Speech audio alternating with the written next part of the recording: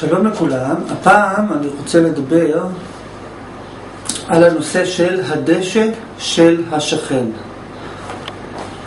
כפי שכולם יודעים, הדשא של השכן יותר ירוק. והפעם אני רוצה להסביר למה כן צריך להסתכל על הדשא של השכן. כי לא להסתכל על הדשא של השכן, זה כולם אומרים, מה תסתכל על הדשא של השכן, הדשא של השכן רק נראה יותר ירוק, הדשא של השכן תמיד יהיה יותר ירוק. ובעצם כדי לעשות את זה מעניין, אז אני רוצה להסביר למה בעצם כן צריך להסתכל על הדשא של השכן. ואני רוצה בעצם לחדד את העניין ולומר שמצד האמת, אין אפילו בן אדם אחד בעולם שלא מסתכל על הדשא של השכן. ואני אחדד עוד יותר, גם אם לאדם לא היו שכנים, גם אז האדם היה מסתכל על הדשא של השכן שלו. זאת אומרת, אני אחדד עוד יותר, גם אם, גם אם היה קיים רק בן אדם אחד בעולם, גם אז האדם היה מסתכל על הדשא של, ה... של השכן שלו. מה זאת אומרת? הנושא הוא מאוד פשוט. אה, ברגע שבן אדם, מה, מה המהות של להסתכל על הדשא של השכן?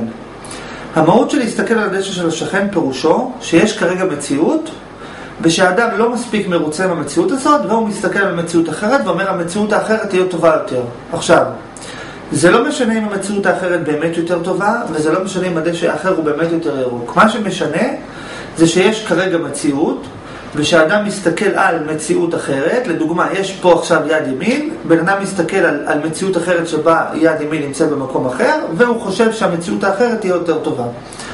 הרעיון של להסתכל על הדשא של השכן, פירושו שהאדם מסתכל על מציאות אחרת שהיא לא המציאות של הרגע הזה, ושואף להגיע אליה, וחושב שהיא תהיה יותר טובה. עכשיו, זה בעצם אומר שאין אפילו בן אדם אחד בעולם שלא מסתכל על הדשא של, ה... שלא מסתכל על הדשא של השכן. ולמה? כי כל בן אדם ובן אדם בעולם שעושה כל פעולה ופעולה כל פעולה זאת אומרת כל פעולה, כל בן אדם שקם ועושה פעולה, כל בן אדם שקם בבוקר, כל בן אדם ש... שהולך, כל בן אדם שמדבר, יש בזה פרספקטיבה של להסתכל על הדשא של השכן. ולמה זה נקרא להסתכל על הדשא של השכן? כי בן אדם עושה פעולות כאשר הוא חושב שהפעולות האלה יביאו את המציאות להיות יותר טובה. זאת אומרת, לדוגמה, בן אדם מדברים איתו, ואז הוא עונה. למה הוא עונה? כי הוא חושב שאם הוא יענה, המציאות תהיה יותר טובה. אם האדם היו מדברים איתו, והוא היה חושב שאם הוא יענה זה יהיה פחות טוב, או, שאם, או שהוא היה חושב שאם הוא יענה, אז יהיה טוב בדיוק כמו שהוא לא עונה, אז הוא לא היה עונה, למה לענות? אבל הבן אדם בכל זאת, כשמדברים איתו, הוא עונה. למה הוא עונה? כי מבחינתו, אם הוא יענה, יהיה יותר טוב. עכשיו, זה בעצם נקרא שאדם מסתכל על מציאות אחרת, וחושב שתהיה יותר טובה מהמציאות של עכשיו. וכל הפעולות בעולם, מכל הסוגים, כל מה שבן אדם עושה, זה בגלל שהוא מסתכל על הדשא של השכן. ומצד האמת זה טוב מאוד שאדם מסתכל על הדשא של השכן, כי כל האינטראקציה של העולם הזה היא על ידי זה שאנשים מסתכלים על הדשא של השכן. זאת אומרת, אם האדם לא היה מסתכל על הדשא של השכן, וניקח את זה לקצה, הרי מה אומרים? אומרים, אל תסתכל על הדשא של השכן, תשמח בחלקך. אבל אם אנחנו ניקח את זה לקצה האחרון, זאת אומרת שאדם ישמח בחלקו בשלמות ואף פעם לא יסתכל על הדשא של השכן, וניקח את זה לקצה האחרון, דהיינו נעשה את זה בקיצוניות עד הסוף, בעצם האדם יגיע למצב תודעתי שבו הוא בכל רגע ורגע מרוצה במציאות בשלמות, בשלמות מוחלטת, והוא לא רוצה שום דבר. עכשיו, אם האדם לא ירצה שום דבר, ממילא לא יהיה שום אינטראקציה, האדם לא יאכל, לא ישתה, לא יזוז, לא ידבר, לא יעשה שום דבר. עכשיו, יכול להיות שזה טוב, יכול להיות שזה רע, אבל צריך להבין שה, שכל האינטראקציה של העולם, מכל הסוגים, מכל המינים, זה הכל תוצאה של זה שהאדם מסתכל על הדשא של השכן. האדם אה, מדמיין במחשבתו מציאות אחרת שהיא יותר טובה מהמציאות של עכשיו, והוא מסתכל עליה ועושה אותה. וממילא זה אומר שאדם חייב להסתכל על הדשא של השכן. מי שרוצה להתקדם בחיים חייב להסתכל על הדשא של השכן. ובן אדם צריך להבין, גם אם הוא היה לבד בעולם, כדי להתקדם בחיים הוא צריך להסתכל על הדשא של השכן. מה זאת אומרת? כי האדם של הרגע הזה והאדם של הרגע הבא זה שני אנשים שונים. זאת אומרת, אני של עכשיו ואני של לפני רגע ואני שבעוד רגע זה שלושה אנשים. כל רגע ורגע של מציאות זה בן אדם אחר. עכשיו, ברגע שבן אדם הולך ועושה איזו פעולה, הוא בעצם מדמיין שאם הוא יעשה את הפעולה הזאת, אז הוא במציאות של עשיית הפעולה ירגיש יותר טוב מאשר הוא במציאות שהוא לא עושה את הפעולה. זאת אומרת, האדם בעצם תמיד מדמיין את הדשא של השכן. כשבן אדם אפילו מרים את היד, זה בגלל שהוא חושב שאם אני ארים את... הוא בעצם מסתכל על השכן. מה זה השכן? השכן זה הוא בזמן רחוק יותר. והאדם מסתכל על עצמו בזמן רחוק יותר, האדם מסתכל על עצמו בצורה אחרת יותר, וחושב שזה יותר טוב ולכן הוא עושה את זה. אפילו ברגע שבן אדם אה, סתם לובש חולצה, מחליף מצבע לצבע, למה זה? כי אתה מסתכל על הדשא של השכן, כי אתה מסתכל על מישהו אחר, שהוא במקרה אתה, שהוא נראה כמוך, ואתה מדמיין אותו עם חולצה אחרת, ואתה אומר, וואלה, חולצה אחרת היא יותר יפה, אז בוא נשים עכשיו חולצה אחרת יותר יפה, זאת אומרת שאתה הסתכלת על הדשא של השכן. אתה לא היית שמח בחלקך, ואתה חשבת שמשהו אחר יותר טוב. וכל הפעולות בעולם, מכל הסוגים, זה תמיד, יש בהם פרספקטיבה של הסתכלות על הדשא של השכן. ולהסתכל על הדשא של השכן זה טוב, וטוב שכך. עכשיו השאלה הנשאלת היא, טוב, מה עושים עם החסרונות של הסתכלות על הדשא של השכן? כי מצד אחד יש יתרונות. אם בן אדם לא יסתכל על הדשא של השכן בכלל, לא יהיה שום אינטראקציה, כי אה, עוד פעם נחדד, להסתכל על הדשא של השכן פירושו לחשוב שיש מציאות יותר טובה מהרגע הזה. וברגע שבן אדם חושב שיש מציאות אחת אפילו יותר קטנה, שהיא טובה אפילו טיפה יותר מאשר רגע הזה, זה נקרא שהוא מסתכל על הדשא של השכן.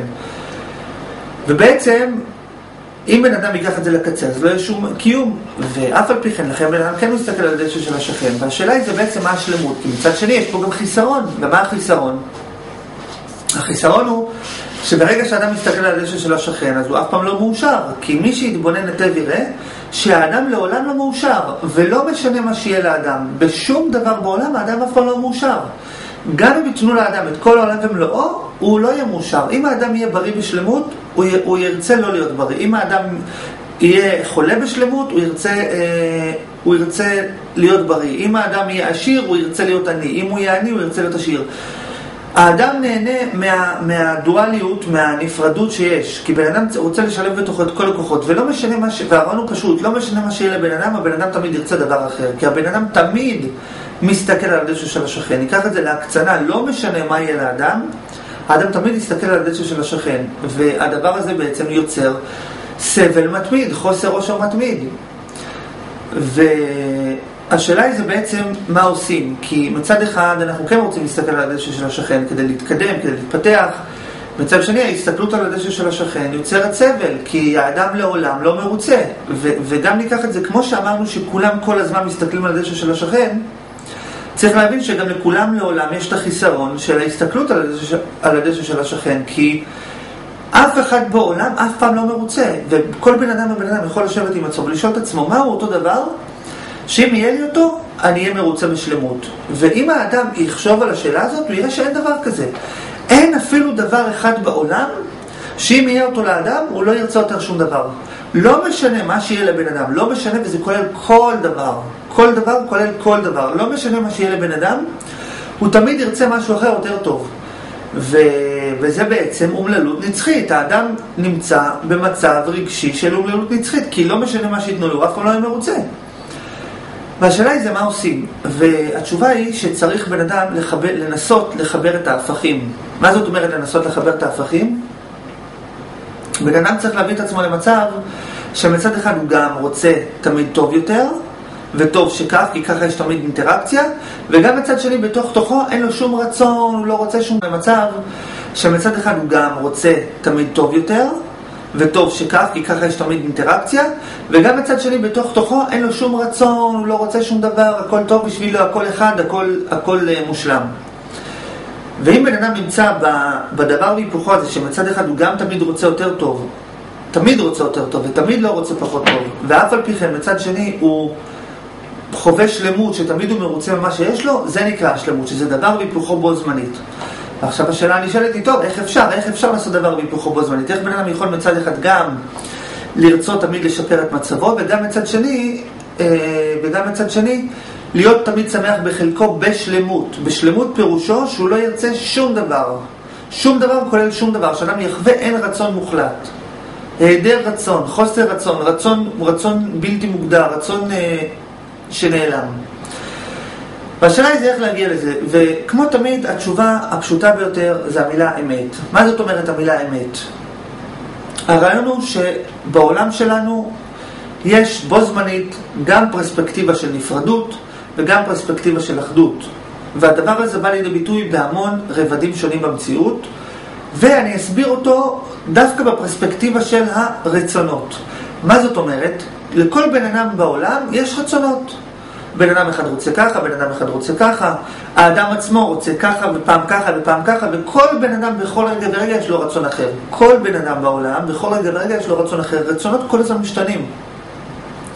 אבל מי שיתבונן על הרצונות של בני האדם יראה שלמרות שהרצונות של בני האדם שונים, אף על פי כן, ככל שאנחנו מסתכלים יותר פנימה על הרצונות האלה, הרצונות האלה יותר מתאחדים. זאת אומרת, אם אנחנו נסתכל נגיד פנימה, אנחנו נראה, נגיד לדוגמה, הרבה בני אדם רוצים לעבוד, כל אחד רוצה לעבוד במקום אחר, אבל כולם רוצים להתפרנס. זאת אומרת, ככל שאנחנו הסתכלנו פנימה על השורש של הרצון, בעצם הגענו לרצון זהה.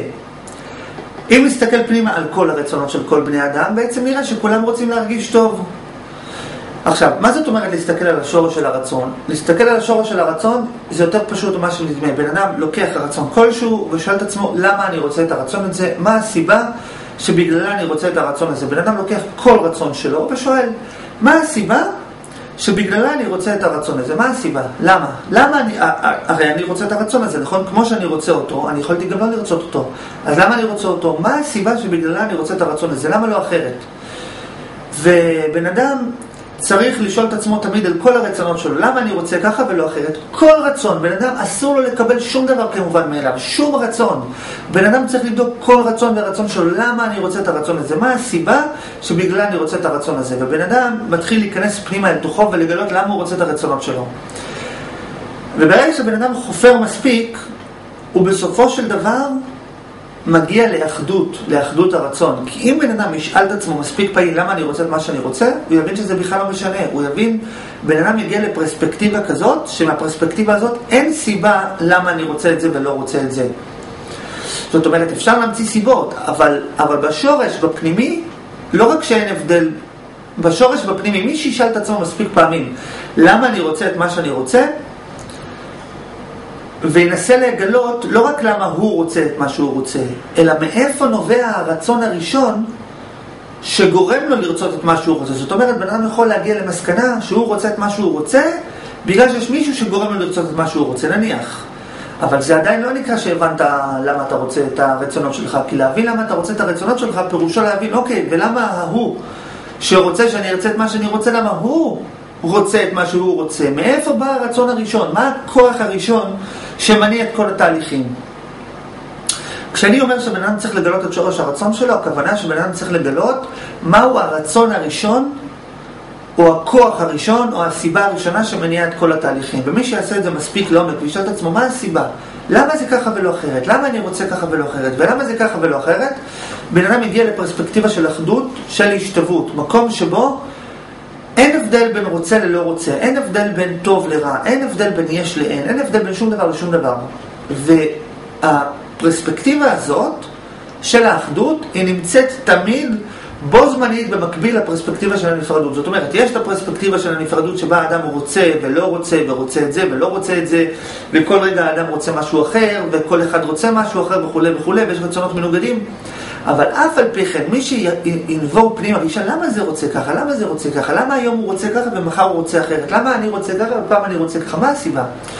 בן אדם שינבור מספיק לעומק, בסוף יגלה שיש בכלל פרספקטיבה של אחדות שמהנקודת המבט שלה זה בכלל לא משנה. לא משנה מי רוצה, לא משנה מה רוצה, הכל אותו דבר בכלל. וראינו ששתי הפרספקטיבות האלה קיימות בו זמנית. וכשבן אדם, וכל מה שבן אדם צריך לעשות כדי להיות מאושר, כדי להיות בשלמות שבו הוא גם רוצה את הדשא של השכן ואומר, ותמיד אומר הדשא של השכן יותר רחוק, ואדרבה, הדשא של השכן תמיד יותר רחוק וטוב שכך, כי תמיד יש לאיפה לשאוף. כי אם הדשא של השכן לא היה יותר רחוק, אז לא היה לאיפה לשאוף. והדשא, והדשא של השכן יותר ירוק, וטוב שכך שהוא יותר ירוק, כי על ידי זה תמיד יש לאיפה לשאוף ותמיד יש לאיפה להתקדם. אלא מה, שהבן אדם גם רוצה להיות שמח בחלקו, והדרך להגיע לזה היא מאוד פשוטה, יותר פשוטה ממה שנדמה. תשובה היא על ידי הסתכלות על האמת. בן אדם, כל מה שהוא צריך לעשות זה לשאול את עצמו מה האמת. למה אני רוצה את זה ולא רוצה את זה? מה הסיבה שבגללה אני רוצה את הרצון שלי? ולחפש את האמת. ומי, שבסוף, ומי שבאמת יחפש את האמת, בסוף הוא יקבל את השכל שמבין ש, שבאמת מצד האמת יש פה שתי פרספקטיבות שהן בו זמנית. יש פרספקטיבה אחת של נפרדות, שבה הרצונות כל הזמן משתנים. ובפרספקטיבה הזאת הדשא של השכן תמיד יהיה יותר ירוק. ויש פרספקטיבה אחרת של אחדות, של הפרספקטיבה שבה הכל אחד ושאין שום סיבה לשום דבר, ומה זאת אומרת אין סיבה? הכוונה שאין הבדל בין, סיב, בין יש סיבה לאין סיבה, או שאין סיבה, מה שנקרא אצל האדם סיבה. אבל הרעיון הוא שמהפרספקטיבה של האחדות, שמה באמת כשבן אדם מתחבר לפרספקטיבה של האחדות, שם הוא שמח בחלקו בשלמות ואין לו שום רצון. כי אין מה לרצות, כי הכל אחד, כי הכל... כי אם בן אדם ישאל את עצמו מספיק פעמים למה אני רוצה את מה שאני רוצה, הרצון שלו ייעלם. מי שישאל את עצמו, למה, שואלים איך אפשר להעלים את הרצון, התשובה מאוד פשוטה. מי שישב עם עצמו וישאל את עצמו למה אני רוצה את מה שאני רוצה, מה הסיבה, למה אני רוצה את מה שאני רוצה, אם הוא יעשה את זה מספיק פעמים הוא יביא את עצמו למצב שאין לו רצון. אין לו שום רצון לשום דבר, ואז הכל טוב באותו מידה. שמח בחלקו בשלמות, לא בכאילו בשלמות. ואף על פי כן יש את הפרספקטיבה של הנפרדות שבה כל הדברים משתנים. ונסכם את העניין, הנושא מאוד פשוט. כולם כל הזמן מסתכלים על הדשא של השכן וטוב שכך, כי כל פעולה ופעולה שאדם עושה, זה נקרא להסתכל על הדשא של השכן, כי הוא תמיד חושב שפעולה תהיה יותר טובה. מצד שני, האדם גם רוצה להיות שמח בחלקו, והדרך לאזן בין הכוחות האלה, זה על ידי שבן אדם מבין שיש את הנפרדות בעולם שלנו, שבו כל הדברים שונים זה מזה, ומבין שיש גם את הפרספקטיבה של האחדות, שבו הכל אחד תמיד. ברגע שבן אדם מחבר את שתי הפרספקטיבות האלה, על ידי זה הוא מצליח להגיע לאיזון רגשי שבו הוא גם תמיד רוצה, גם תמיד רוצה לשפר את מצבו וגם אף פעם לא רוצה שיהיה מצבו פחות טוב, דהיינו הנפרדות של הרצונות שכל הזמן משתנים, ובו זמנית הוא גם כן חווה את השלמות שבו הכל אחד והכל טוב, בדיוק כפי שבמציאות יש, יש את שני הכוחות האלה בו זמנית. ושיהיה לכולם יום של דשאים ירוקים. תודה.